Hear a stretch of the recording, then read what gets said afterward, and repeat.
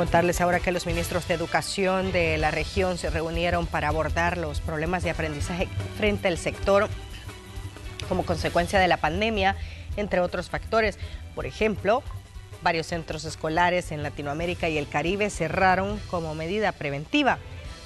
A ello se suman las afectaciones en el desarrollo personal, social y cultural, brechas que se esperan combatir o políticas curriculares sin asumir la perspectiva y el derecho del que aprende.